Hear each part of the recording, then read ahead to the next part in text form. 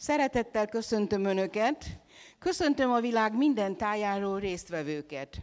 Nagyon örülök, hogy megtiszteltek minket a jelenlétükkel, a Problem Prevention Holding, röviden a PPH, a Hunor Trade részvénytársaság, a Nyílt Akadémia és a Tanoda 2000 Kft. közös élet és emberismeret ferjesztő képzésén.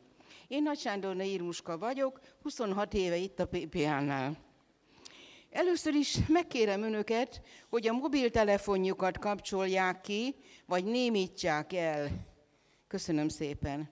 Érdemes jegyzetelni, megkérem önöket arra, hogy ha bármi kérdésük, vagy megbeszélni valójuk lenne, írják fel, és a végén lehetőségük lesz, hogy választ kapjanak.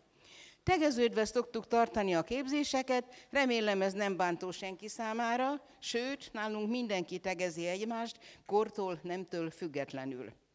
A mai képzésünket a legnagyobb tudású és tapasztalatú mesterkócs és boldogság specialista, a szervezetünk alapítója és vezetője fogja tartani. Ő az egyik legismertebb mesterkócs, személyiség és képességfejlesztő szakember. 35 éve él boldog házasságban, sokat tettek azért, hogy jól tudjanak együttműködni, kiegyensúlyozott életük legyen. Én 1995 óta ismerem őket személyesen, és látom, hogy jó példát mutatnak ezen a területen is. Ő nem egy olyan tanító, aki úgy akar az embereken segíteni, hogy az élete közben romokban hever. Csak olyan dolgokat tanít, amit használ is. Szerlasik Miklós több mint 30 éve foglalkozik emberekkel, és van saját szervezésű csapata. Kötelességtudó és felelősségteljes tanító, ebben is példát mutat a számunkra. Az évek során meggyőződtem, hogy Szerlacsik Miklós követendő példa, egy példakép a számomra. Ő az az ember, aki a pénzügyi világból átvezetett bennünket a tudás világába. Rengeteg tapasztalatot szerzett az emberekkel való bánásmódban. A PPH több mint tíz éve jól működő közösség, átlagemberként kezdte, és az élet vezette a mostani útjára. A 90-es évektől nyitott a spiritualitás felé, és jelenleg Magyarország egyik legnagyobb független spirituális szervezetének a vezetője. A Nyílt Akadémia létrehozásával nagyon sok ember fejlődésében segített már. Korábban az anyagi területen is ért el sikereket. Nincs még egy olyan ember Magyarországon, akinek a vezetésével négy különböző területen lett egy szervezet piacvezető. Vezetőnk több különleges médiumi képességekkel rendelkezik, többek között fentről kap válaszokat, információkat. Küldetése az aranykor létrehozása, az emberek lelki fejlődése, és olyan szintre emelése, hogy képesek legyenek szeretetben, békében és boldogságban élni azért, hogy bekerülhessenek az aranykorba. Szeretném megkérni vezetőnket, Szedlacsik Miklós mesterkócsot, hogy jöjjön és tartsa meg a mai képzést.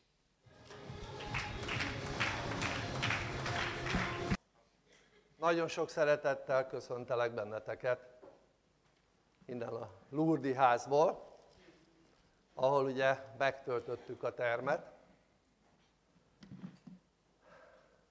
Szeretném megkérdezni, hogy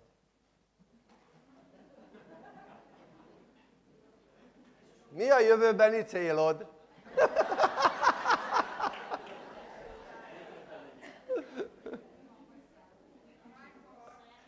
Na mi a jövőbeni célod?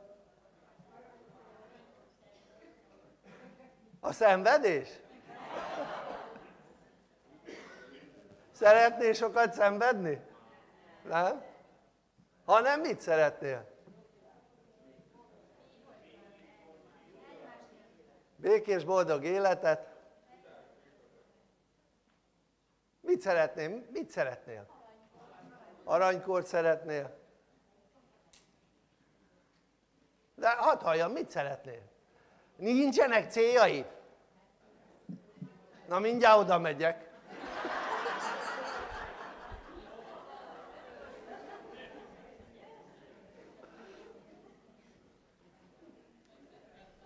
Hadd halljam, mit szeretnél?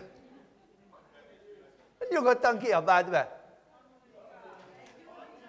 Mint ha hallottam volna valami ilyesmit, hogy tanulni. Hát én mert ilyeneket hallottam, hogy aranykor, meg. De hát hogy érjük ezt el? Tehát hogy lesz az emberiség, hogy fog bekerülni az aranykorba? Fejlődés nélkül be fog kerülni? Akkor mit akarsz? Mi, milyen módon? Így?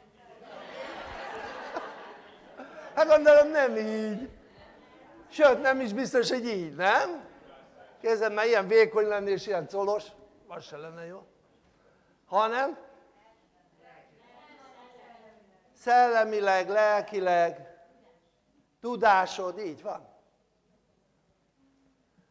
De először is nézzük meg, hogy mi az aranykor, nyilván akik már régebben itt tanulnak, pontosan tudják, hogy mit jelent az aranykor, meg mi lesz az aranykor, hát aranykorban egy elnyomásmentes társadalmi forma.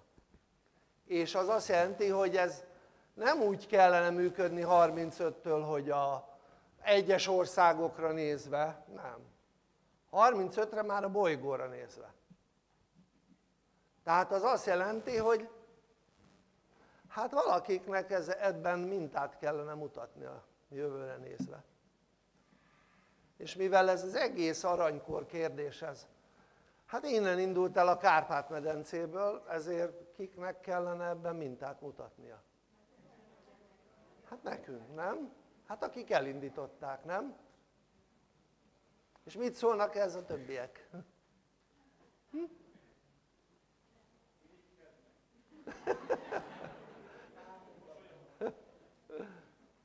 Támogatóan?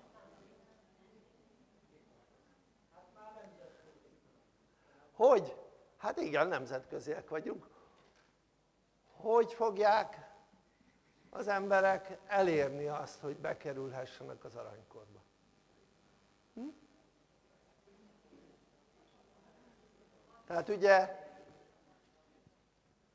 meg kellene tanulni azt, hogy úgy működjünk, hogy amit teszünk, ugye a döntés is egy cselekedet, tehát amit teszünk, azt a legnagyobb jó érdekébe tegyük.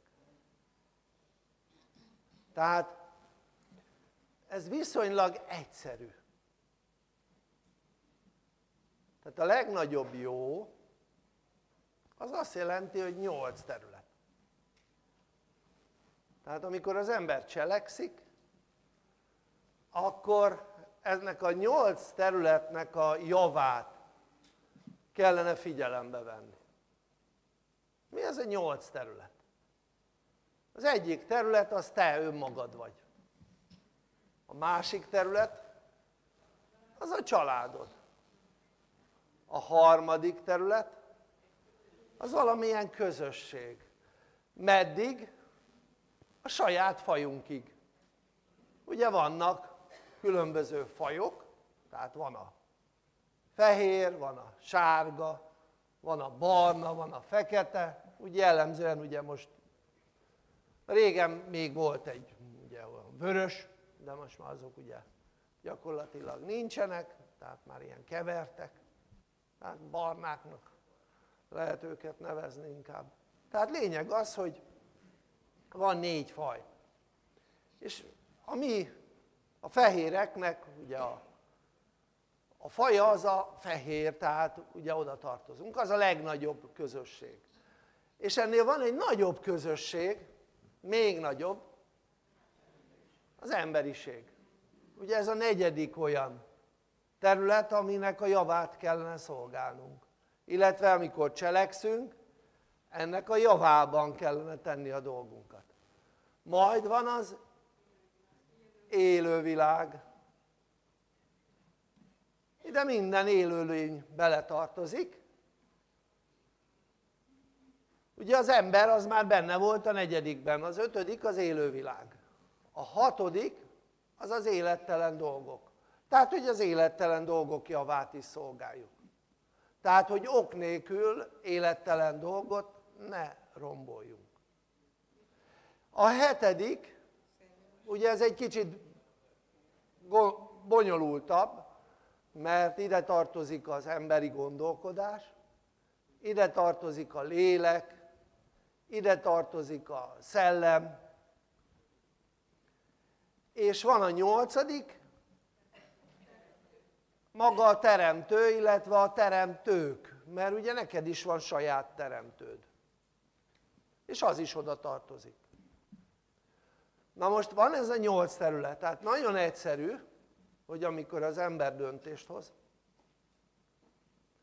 vagy cselekszik, akkor ezeknek a javára tedd. Na most ez úgy működik, hogyha ezeknek a javára cselekszel, akkor te is jól jársz, mert te ott vagy egyesként. A családod is jól jár, mert ott van kettesként. És meg kell tanulni azt, hogy erre képes legyen az ember. De ugye van egy olyan része az egésznek, hogy együttműködés. Hiszen az emberek valamilyen szinten együttműködnek, például a családodban, ha nincs együttműködés, az baj. Ha egy munkahelyen nincs együttműködés, hát az is baj.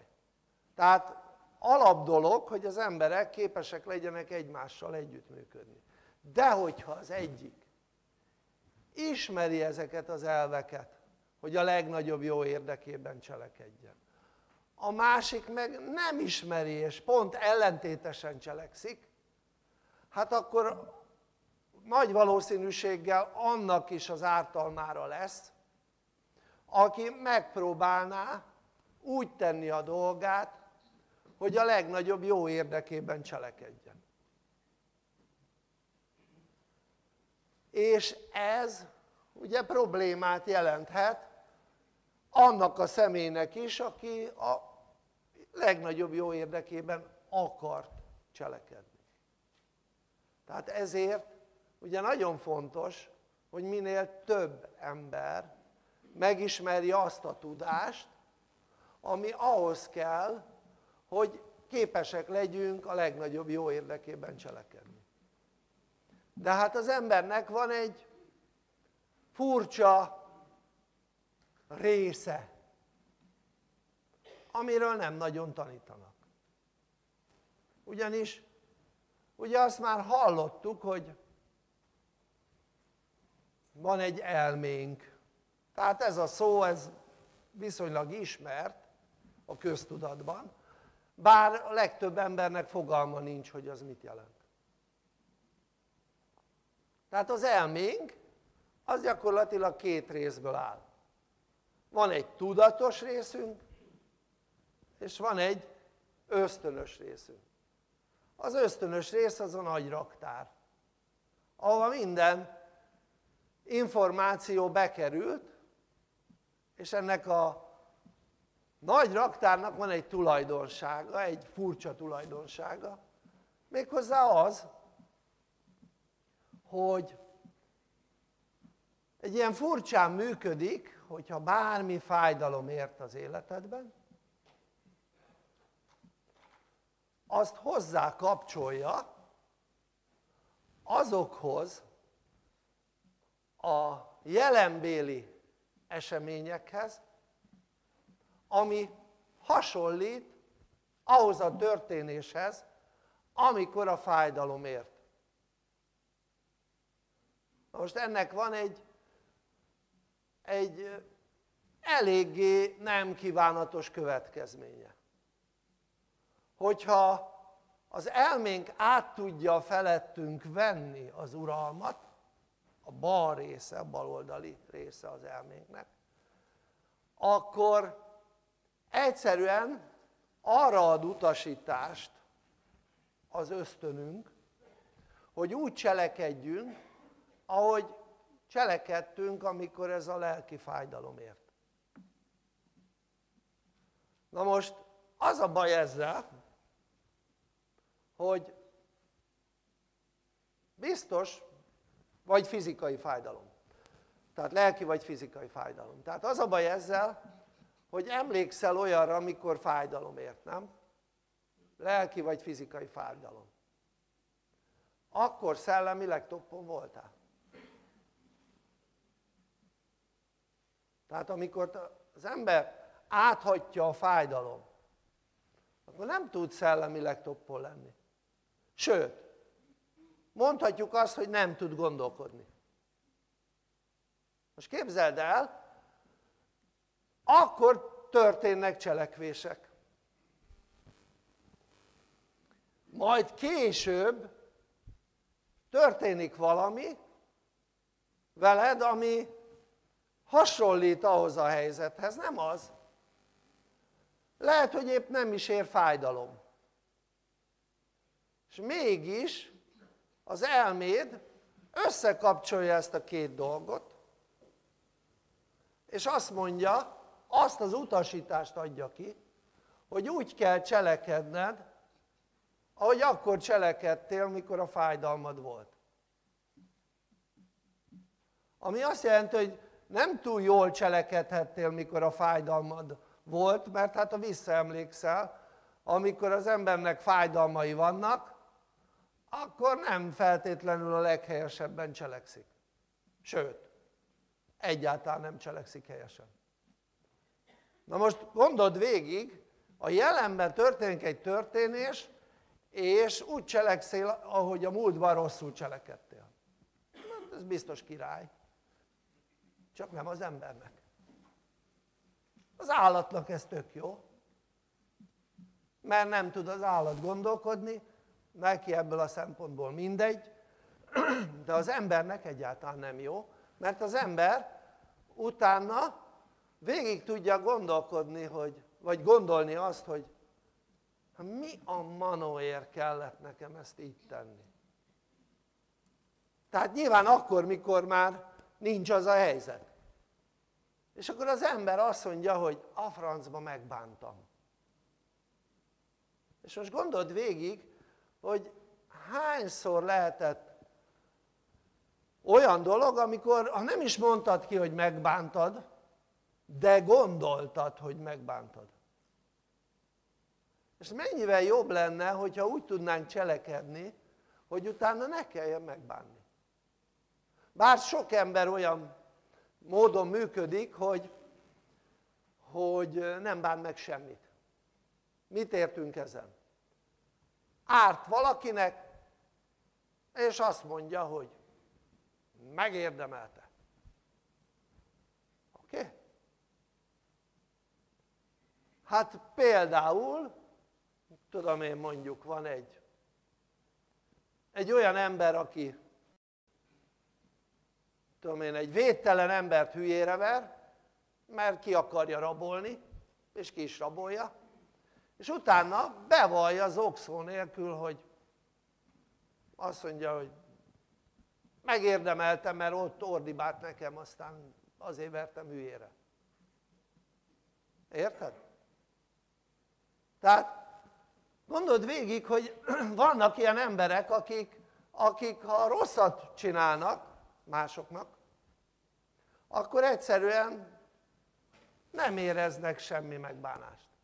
Ezeket úgy nevezzük, hogy elnyomók. És ezek az elnyomók elég szép számmal vannak a bolygón, mert az emberiség egyötöde. És ugye az a baj, hogy amíg az elnyomók jelen vannak, és bőszen tevékenykednek, hát addig van elnyomás. És ha egy ember elnyomást kap, akkor az vagy fizikai, vagy lelki fájdalomban jelenik meg. És ez az elnyomás, ez sajnos egy súlyos dolog itt az emberiség életében, mert a mindennapokban jelen van. És maga az elnyomás az, ami előidézi az elmének ezt a fajta faramuci működését. Ha nem lenne elnyomás, akkor olyan lenne az elménk, mintha nem is működne, mintha nem is lenne. Tehát szó szerint. Tehát egy szociális ember, aki nem kap elnyomást, az képes arra, hogy úgy működjön teljes egészében, mint ember, mint, mint akinek nincs is reaktív elméje. Tehát ezért volt az, hogy a teremtés első időszakában a fentiek számára nem derült ki, hogy az embernek van egy állati, ösztönös működése.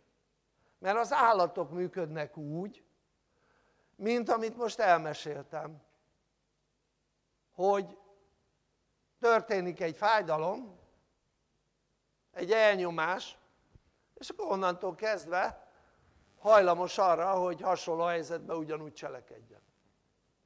De az ember annél sokkal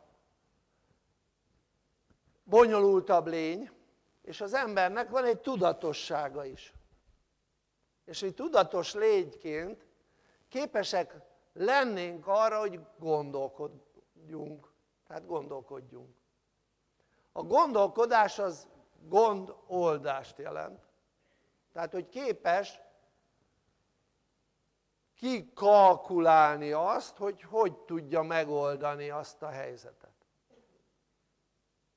Na most képzeld el, minden ember igazából képes lenne arra, hogy bármi probléma éri, hogyha gondolkodik, akkor képes legyen a megoldást kigondolni, és megoldani azt a dolgot. Na most ezzel szemben ott van a reaktív elme, ami ezt az egészet akadályozza. Tehát ott van a, ugye a bal agyféltekéhez kapcsolódó ösztöneink, ami ezt akadályozza. És ott van a jobb agyféltekénkhez kapcsolódó elmerészünk, amely a gondolkodás, amely arra lett kitalálva idézőjelben, hogy megoldjunk bármilyen helyzetet. Még akkor is, ha nincs tudásunk. Most képzeld el, te képes lennél arra, hogy ha nincs tudásod is, megoldj egy helyzetet. Hogy képes erre az ember? Hát ennek van egy, egy egyszerű magyarázata, ha van benned egy lélek. A lélek az egy értelmes energia lény. Tehát van benned egy értelmes energia lény, ami itt a bolygón, ugye az élőlények között bennünk található. És a többiben nem. És ez az értelmes lény, onnantól, hogy megfogantál, kapcsolatban van egy másik értelmes lényel. Ezt én úgy nevezem, hogy teremtőm. És ez a teremtőm, meg a lelkem, nek a telepatikus kapcsolata megvan. Az azt jelenti, hogy körülbelül olyan kapcsolatban van, mint, mint itt a, a wifi-n keresztül a számítógépek. Oké? Okay? Tehát ez online kapcsolat. Oké? Okay? Na most. És lényeg az, hogy segítik abban, tehát amikor egy lény, nincs tudása, de meg akar oldani egy dolgot, tehát nem mástól vár segítséget, hanem nekiáll és megold, mert meg akar oldani, akkor szépen rávezetik arra, hogy lépésről lépésre hogyan oldja meg. Tehát ez nem úgy működik, hogy megmondják előre, hogy az 20 lépésből fog állni, és ezt, meg ezt, meg ezt, meg ezt tedd meg. Nem. Ez úgy működik, hogy fogják, és segítik az első lépést, hogy megtegye. Amikor az megvan, akkor segítik a másik, másodikat. Majd a harmadikat, stb. stb. Miért van ez így? Mert ezzel például az ember türelmet tanul. Tehát, hogy ne akarja látni a végeredményt, mert összezavarodik, mert egyszerre egy ember 20 lépést nem tud átlátni. Csak most mondtam ugye az előző példa alapján. De egyet minden további nélkül át tud látni. Majd utána átlátja a következőt, majd a következőt, majd a következőt. Ezért nem egyszerre adják az összes információt, hanem lépésről lépésre. Tehát az ember képes az ilyenfajta működésre. És minden ember képes lenne az ilyenfajta működésre, de elérték, hogy ne legyen képes. Kik érték el? Nem a fentiek, a lentiek. Mi az, hogy lentiek? Olyan lények, akik nincsenek társulási viszonyban a fentiekkel, hanem a fentieknek az ellenségeik. Oké? Okay? Tehát mondhatjuk azt, hogy isteni lények, megmondhatjuk azt, hogy sátáni lények. Oké? Okay? És mivel nincsenek jó viszonyba, nyilván általában az ellentétét akarják annak, amit a fentiek. Ennek megvan a magyarázata, de most nem szeretnék a magyarázatról beszélni. Tehát, hogy miért is van így. És hogy van ez az egész.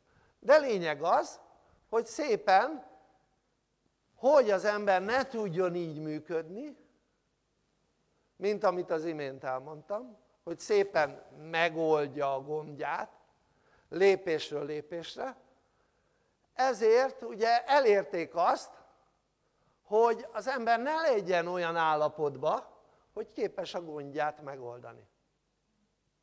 Ezt úgy hívják, hogy hangulat. Tehát ne legyen olyan jó hangulatban, olyan emelkedett hangulatban, hogy ezt megoldja. Mondok egy példát, jó? Én a Cejzel Endrét sokra becsültem. Ugye a doktor Cejzel Endréről van szó.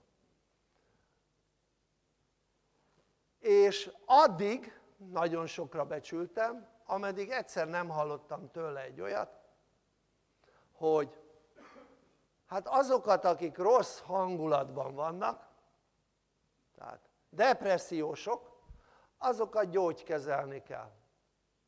Ezzel még, ezzel úgy különösebb nagy problémám nem volt. De amikor azt mondta, hogy a feldobott embereket is gyógykezelni kell,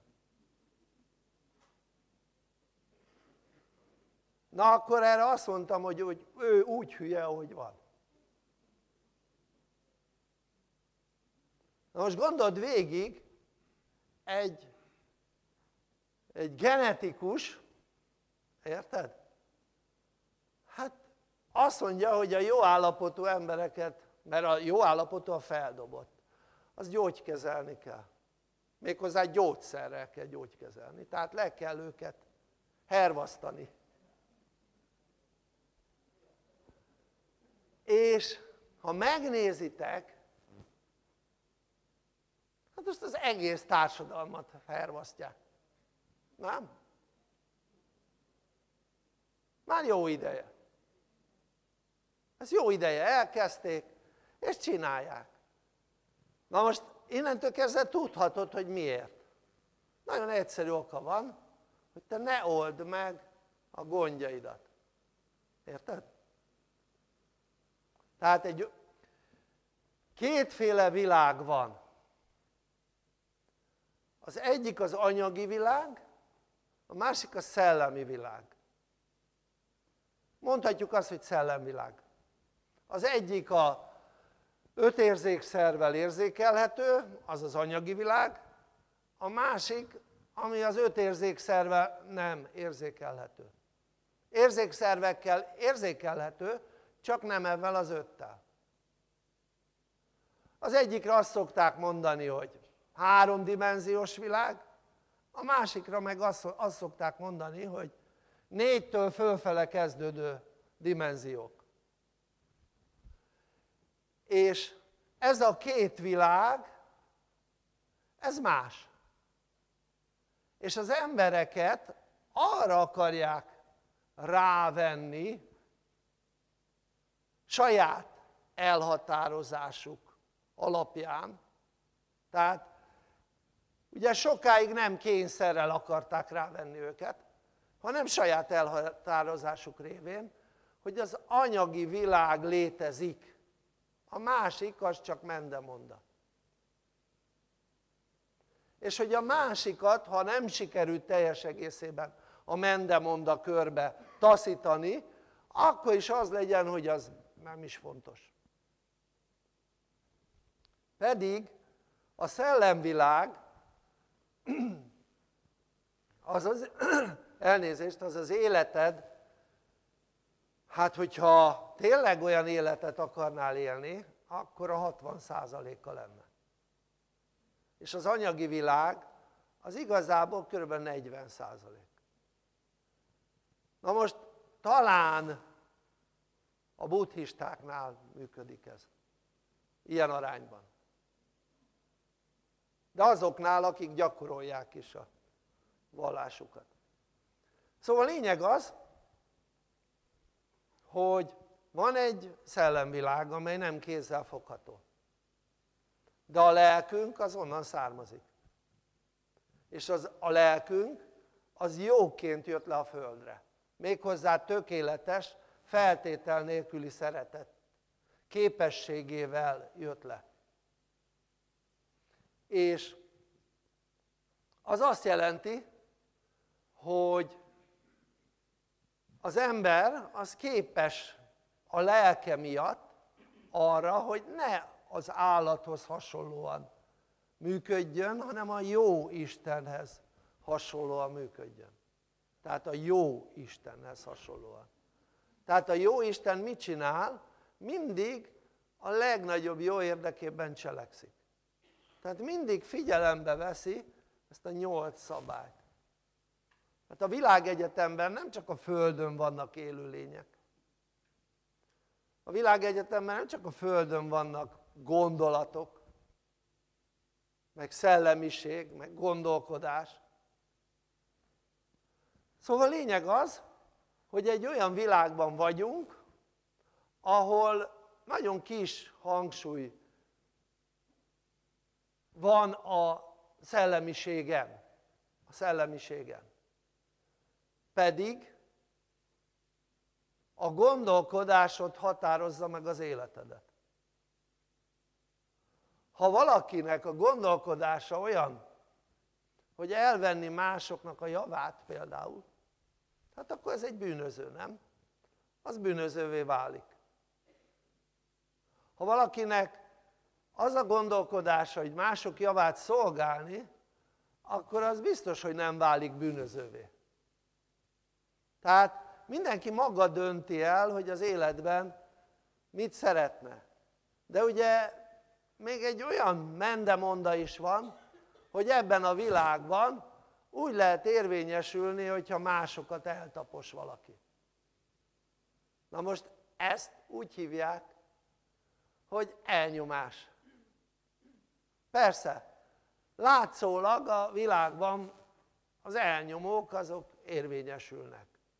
Látszólag. Igen, de meddig?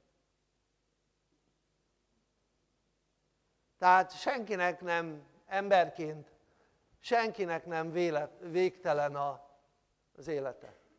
Végtelen hosszú. Emberként előbb-utóbb az illető meghal. Tehát ott van például a, a legöregebb Rockefeller, aki már nincs, nem tudom hányszor cseréltek benne szívet, aztán már mégis meghalt. Tehát lényeg az, hogy már nem sikerült ugye újból életben tartani. Tehát mind, mind, minden ember előbb-utóbb, akármit csinálnak vele, akármennyire próbálják tódozni, fódozni, előbb-utóbb meghal. És az, amit itt teszünk, az egyáltalán nem mindegy a lelkedre nézve, mert a lelked viszont nem hal meg, és egyetlen ember sem hal meg. Mert a lelkünk az tovább él. És itt nem az a kérdés, hogy mivé születsz újjá? Mondjuk milyen emberré? Nem ez a kérdés. Hanem az a kérdés, hogy a lelked az ebben az életben mekkorát fejlődött. Illetve mekkorát fog fejlődni. Ez a kérdés. Tehát itt nem az a kérdés, hogy félni kell attól, hogy ennek az életnek a cselekvései alapján vajon milyen nehéz körülmények közé születik az ember, vagy esetleg könnyű körülmények közé, aminek örülhet az ember. Nem ez a lényeg, hanem az a lényeg, hogy mivé fejlődünk. Mert gondold végig, hogy te fejlődhetsz olyan emberé, aki képes tovább lépni ebből az emberi mi voltból. Érted? Mivé? Hát egy olyan lényé, aki nem, akinek nem kell mindig a tudásáról lemondani minden újraszületéskor. Tehát gondold végig, hogy mi a jó, amikor, vagy melyik volt a jobb, amikor ugye az a fajta működés működött, hogy na, boldogok a lelki szegények. Nem? Mert van egy ilyen fajta működés. Tehát megnézed, mondhatjuk azt, hogy boldogok a gyerekek, nem? Mert még nem éltek meg dolgokat. És látszólag ez a kettő, ez valami párhuzamot mutat. Ugye a lelki szegények is azért boldogok, mert nem éltek meg dolgokat. De akkor ugye megkérdezném, hogy mégis melyik a jobb, hogyha egy gyerek felnő, vagy ha nem? Mert ha felnő, akkor már megél dolgokat, nem? Mert vannak, akik gyerekként meghalnak, de hát nem sok olyan ember születik, aki gyerekként szeretne meghalni. És ha az ember gyerekként boldog, akkor ahhoz képest nézzük meg, hogy felnőttként olyan, akinek az általános hangulata boldog, tehát nagyon jó hangulatú. Hány olyan emberrel találkozol? Pedig gyerekként boldog volt, főleg mikor minél kisebb volt, annál inkább. Tehát ahogy az ember növekszik, hát érik dolgok, nem? És ahogy az ember korosodik, hát úgy érik dolgok. Persze lehetne, mit tudom én, valami burokba maradni, nyilván ez nem az anyamé, hanem valami másfajta burok, de hát nem így van. Tehát a legtöbb ember az nincs semmilyen burokba, hanem éli a helyzetét. És gondold végig, te azt hiszed, hogy milyen jó a, a nagyon gazdagoknak. Például ilyeneknek, hogy Rothschildok, vagy Rockefellerek, vagy Bushok, vagy mit tudom én. Mit tudom én, hogy hívják a Microsoftnak a volt főnökét. Bill Gatesnek, igen, köszönöm. Stb. hogy milyen jó nekik, mert hogy milyen gazdagok. Na most ugye megnézzük, lehet, hogy van pénzük. Sőt, biztos, nem kevés. Egyes családoknak több van, mint az egész országnak. És ugye azt gondolják, hogy az a világ közepe, de ha megnézed ezeket az embereket, honnan tudod, hogy nem boldogok? Hm? Hát tudni lehet, hogy nem boldogok. Mert akkor nem nyomnák el a környezetükben lévő népeket, embereket. Tehát egy, egy jó hangulatú ember nem tud elnyomni másokat. Érted? Egy jó hangulatú család, az nem nyom el senkit.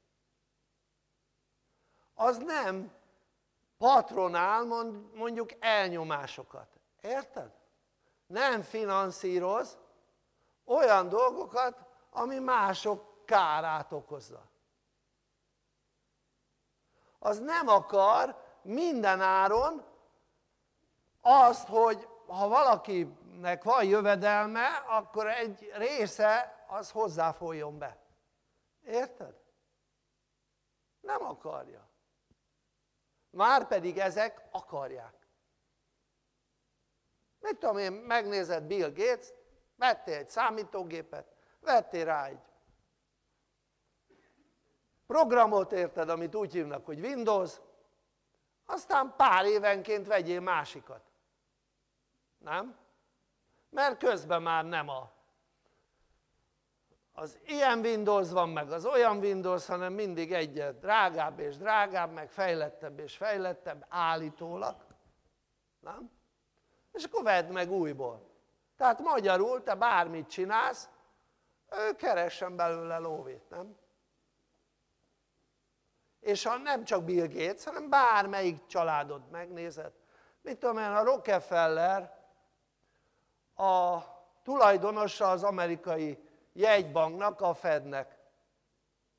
Ugye a Rockefeller család. És onnantól kezdve minden, ami a Feden keresztül működik, az egész amerikai pénzügyi működés, abból ők részesednek. Érted? Ott van egy több mint 200 milliós ország, amelyiknek azért van pénzügyi működése, és abból minden egyes dollárból ők nyerészkednek, érted?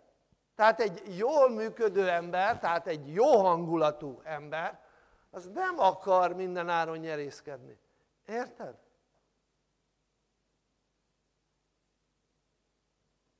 Na most onnan tudhatod, hogy az összes ilyen gazdag, jómódú, az nem jó állapotú, mert mások kárára akarnak nyerészkedni. Világos ez? Másoktól elvonnak, hogy nekik több legyen. Na most ilyet nem csinál egy jó állapotú ember. Tehát nem csinál például egy feldobott. Azért nem csinál.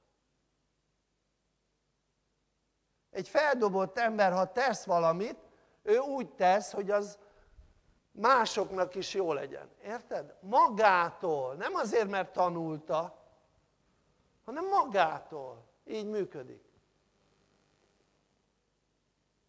És akkor lassan az ember átlátja a világot, hogyha hall ilyeneket, hogy gyakorlatilag az összes gazdag ember az nem jó állapotú. Na most egy nem jó állapotú ember pedig hajlamos arra, hogy elnyomja a környezetében lévőket. Tehát a legjobb rossz hangulat, a legjobb rossz hangulat, az az ellenségesség. Ilyen nyílt rossz indulat. Hát végig gondolod, hát egy ellenséges ember, egy ilyen rossz indulatú ember, az nem elnyomoskodik? Hát találkoztál, hány rossz indulatú emberre találkoztál már életedben? És nem akart mondjuk leértékelni, vagy nem akarta a tevékenységedet leértékelni, vagy másnak a tevékenységét leértékelni. Hát ezt úgy hívják, hogy elnyomás. Ez azt jelenti, hogy az összes olyan ember, aki rossz hangulatú, az hajlamos arra, hogy elnyomoskodjon. Az összes, kivétel nélkül. Akkor is, ha nem akarja. Érted? Akkor is, ha nem akarja. Na most mit jelent az elnyomóskodás? Hogy a másikban rossz érzést kelt. Érted? Vagy ennél súlyosabb dolog. Tehát ha már benned kialakul egy rossz érzés, amit valaki kialakít, azt úgy hívják, hogy elnyomás. Érted? Ha kialakít benned egy fájdalmat, fizikait, vagy lelkit, azt úgy hívják, hogy elnyomás. Érted? És a rossz állapotú embernek megvan erre a hajlama. És nem csak hajlama, hanem időnként teszi is, ha teheti. Na most gondold végig, tehát egy olyan világban élünk, ahol elérték, hogy az emberek zöme az ne jó állapotú legyen. Ha nem jó állapotúak vagyunk, nem vagyunk képesek gondolkodni, csak ösztönből cselekszünk. Tehát amikor feljövünk, jobb hangulatúak leszünk, képesek vagyunk már gondolkodni, de csak addig még jó állapotban vagyunk. Tehát egy rossz állapotú ember, amelyik mondjuk ellenséges, ami nem túl rossz állapot, annál a harag, vagy a félelem, vagy a bánat, ugye sokkal rosszabb hangulatok. És mégis az illető kevés jót tud tenni, mert csak addig tud jót tenni, ameddig följött. Följebb jött, mint, mint a nyílt ellenséges szint. És ugye minél rosszabb állapotban van valaki, tartósan, annál kevesebbet tud följönni oda, hogy gondolkodjon. És akkor képzeld el, itt az embereknél elérték azt, hogy egy olyan szinten legyenek általánosan, ahol nem tudnak, ahol nem tudnak gondolkodni. Most általánosan a világban, a megnézet, százmilliók félnek. És ugye a félelmet elkezdték elérni az embereknél, első világháború. Majd második világháború, majd jött a harmadik világháborútól való félelem. De úgy látszik ez nem volt elég. Most már olyan félelem van generálva, ami nem kézzelfogható. Tehát egy ellenség, mondjuk egy ellenséges nép, vagy nemzet, vagy ország, az kézzelfogható de egy vírus, még egy baktérium jobban kézzelfogható, mert az, az ugye ez egy élőlény, de egy vírus, az egy program. Az olyan, mint a számítógép vírus. Hát az is elég nehezen található meg, és hol van benne a kézzelfoghatóság? Számítógép vírus sem egy élőlény.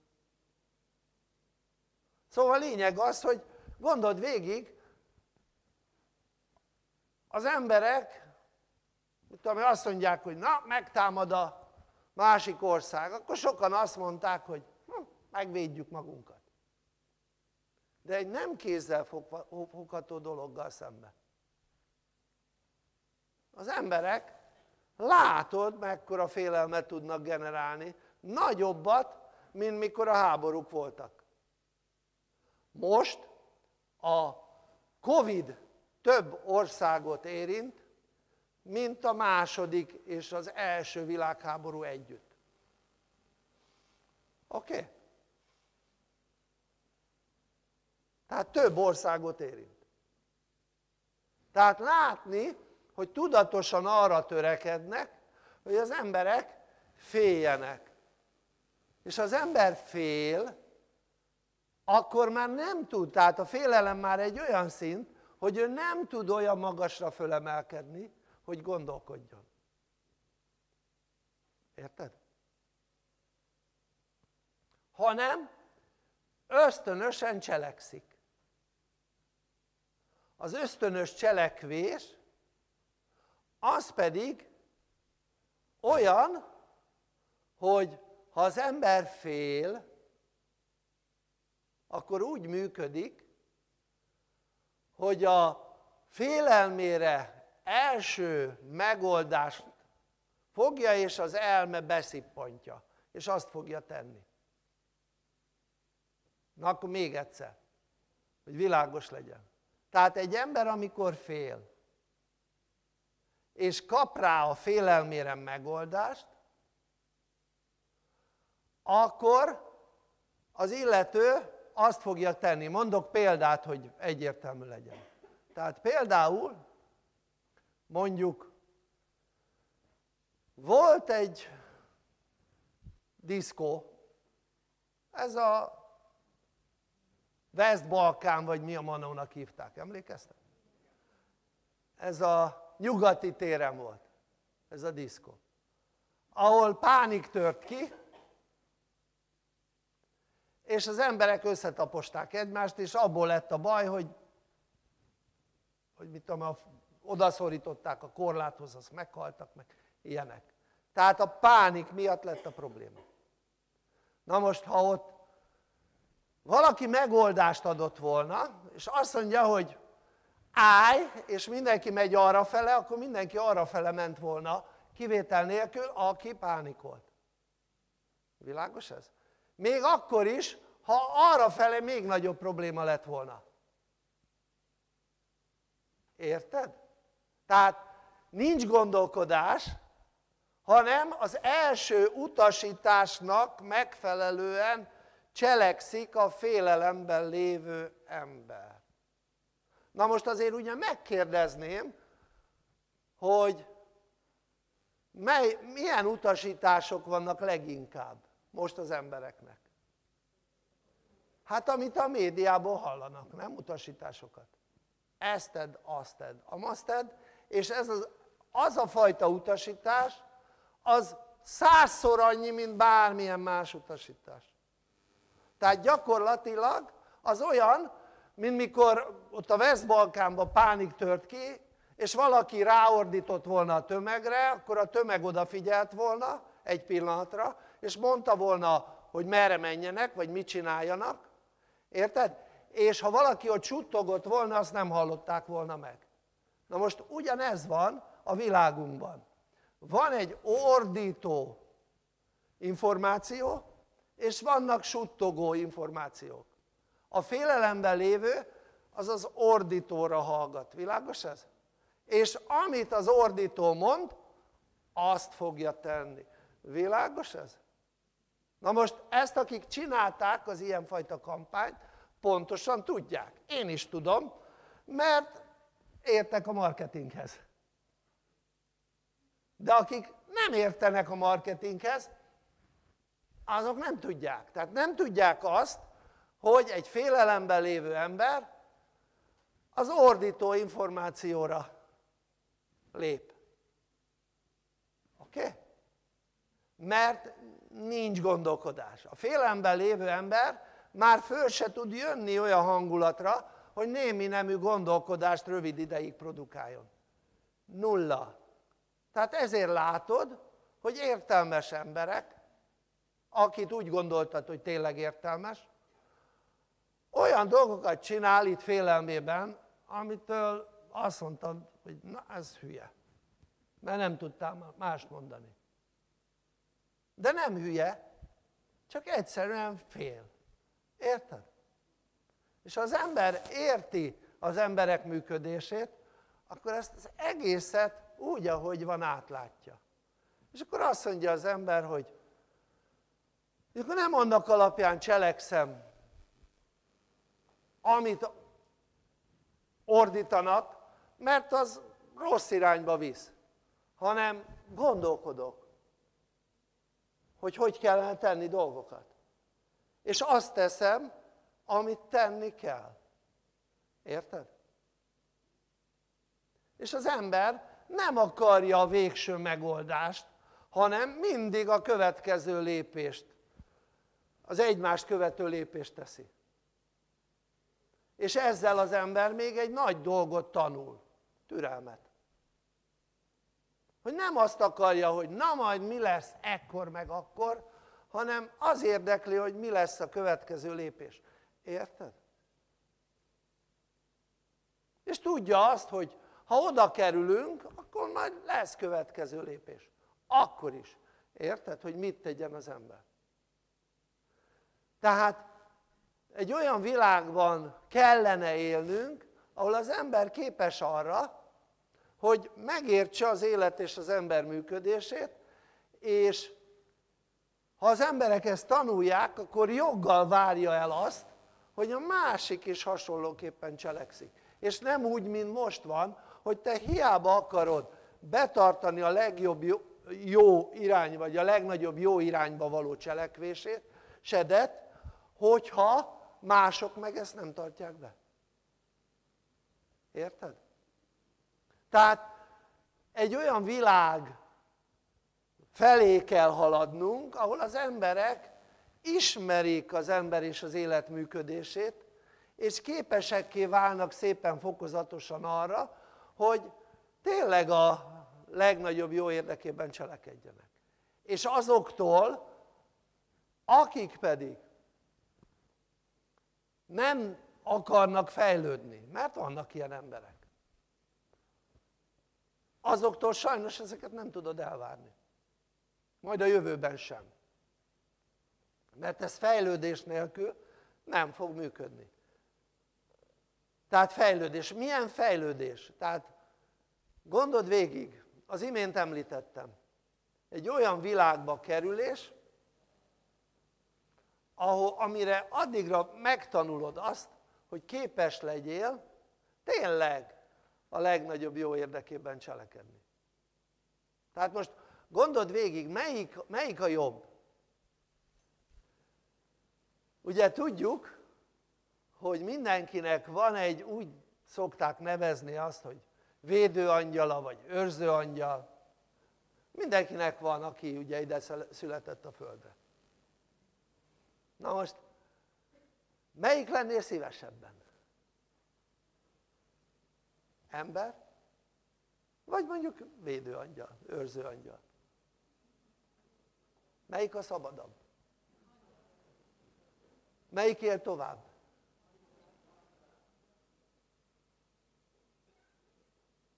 Melyiknek nincs problémája?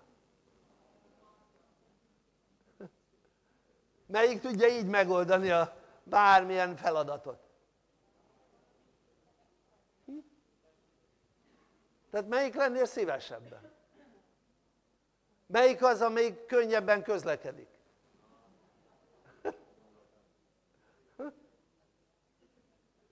Melyik az, amelyiknek nem számít a pénz?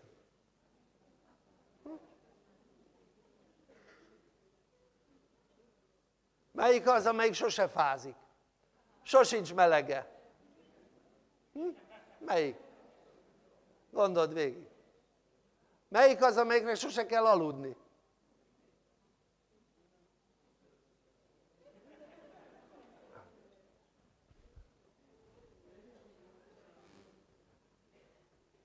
Tehát ugye ez, ez nem az ember. Ez nem az ember. És akkor itt jön, jön egy kérdés, hogy mi van a szexel? Vagy jöhetne egy kérdés.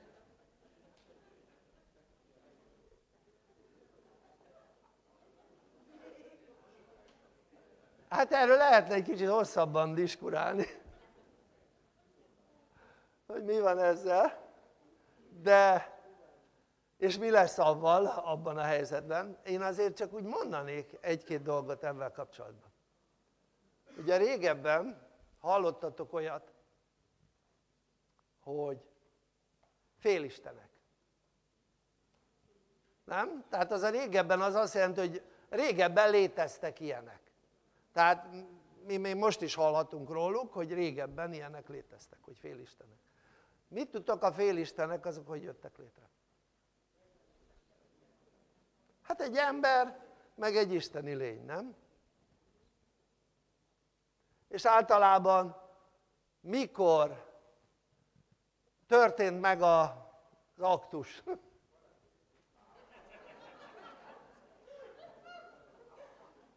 Hát éjszaka álmában, nem?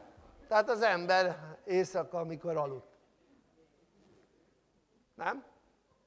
Ahogy így hallottatok róla, vagy hallottunk róla. Tudtok ilyen neveket mondani? Ilyen félistenek? Álmos például vezérünk, igen. Jézus, így van. Az a bivajerős, mondjátok, Herkules. Oké? Okay? De volt egy csomó. Prométeusz is ilyen volt, stb. stb. Jó, tehát egy csomó ilyen lény volt a múltban. Ugye az 1300-as évektől már nem igen hallasz ilyenekről. Tehát más rendszer lett. Tehát ez már tilos a fentieknek. Hát akkor, és hogy lesz a szex?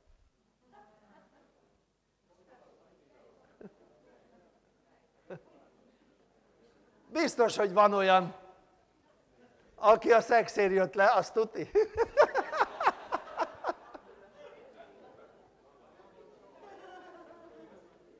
Azt tuti, hogy van ilyen. Jó kis szexet viselni itt a földön, nem olyan rossz az. Na szóval... Szóval lényeg az, hogy, hogy ez az egy dolog, ami ott, hogy fönn nincs. De van helyette valami más. A feltétel nélküli szeretet, így van. Érted? Az van. És ha így jobban megnézed, akkor ugye az 1300-as évektől ilyen nincs, hogy, hogy félistenek. De előtte voltak, és elég sok. Na most ugye, akkor egy kis következtetés. Vajon akkor régen miért lehetett? Mert mások voltak, más etikájú lények voltak. Azok a lények, akik, akik a Földnek a, az istenei voltak. Ami azt jelenti, hogy alacsonyabb rezgésű. És az ő etikájukban ez benne volt. És egy igen magas rezgésű lény esetében nincs benne. Tehát ami annyit jelent, hogy, hogy nincs rá szüksége, érted? Tehát ha megnézed, egy olyan világban élünk, és nem le akarom értékelni a szexualitást, most ne érts félre. Egy olyan világban élünk, ahol vannak olyan emberek, akiknek az az egyetlen élvezet.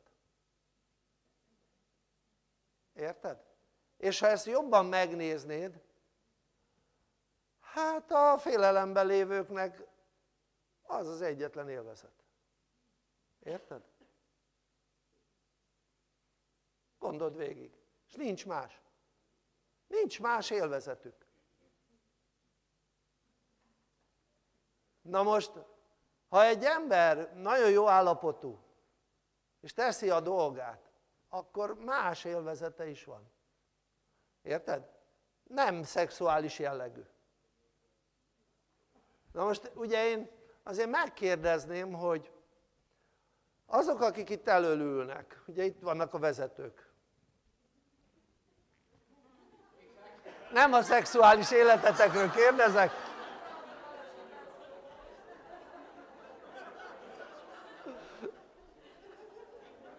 hanem azt, hogy milyen érzés az, amikor mondjuk egy, egy olyan emberetek van kint a színpadon, akiknek sokat segítettetek. Nagyon jó érzés. És ezt ugye el tudja mondani mindenkinek, mindenki, aki, akinek van már csapata, és ők kim vannak a színpadon. És milyen érzés az, megint csak fordulok hozzátok itt az első sorokban, amikor valaki valamilyen problémával fordul hozzátok, és ti tudtok segíteni annak a megoldásában. Nem úgy, hogy megoldjátok helyette, hanem úgy, hogy tanácsa. coachinggal. Milyen érzés? Szintén nagyon jó érzés. Így van. Tehát a teremtésnek van egy olyan érzete, amikor az ember nagyon jól tudja magát érezni. És, és az hosszabb időtartalom, mint egy elélvezés.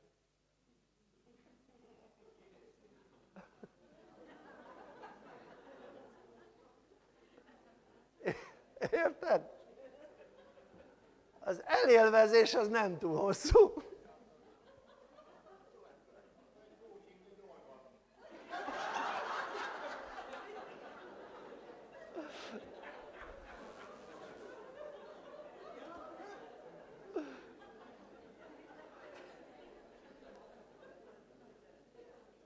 Szóval amikor az ember, ugye mit jelent a teremtés? Az azt jelenti,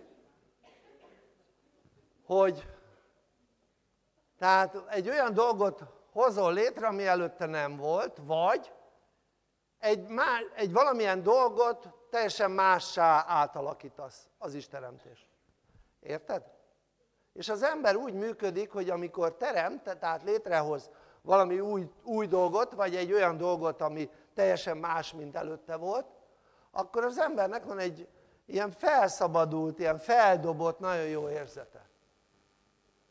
Tehát, ha megnézzük, ha már kimondtad a szót, az orgazmust, akkor olyankor rövid időre fölmész a feldobottság szintjére. Világos ez? És,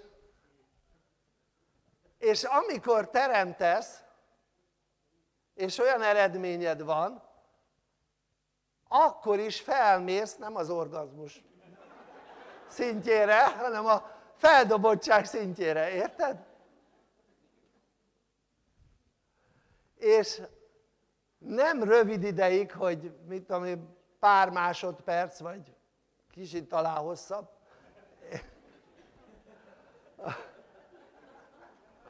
hanem lényegesen hosszabb. Érted? És akkor gondold végig, hogy tartósan napi szinten, főleg a férfi vagy hány orgazmusra vagy képes.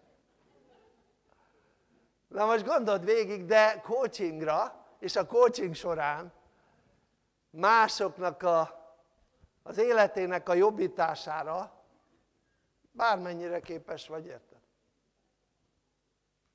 Napi szinten több, sokra, és het, heti szinten meg aztán még többre. Érted? De azt fizikailag nem bírnád. Mondom, főleg férfiként. Ha meg nő vagy, akkor nincs annyi férfi, aki ezt meg tudná csinálni. Az életedben legalábbis remélem.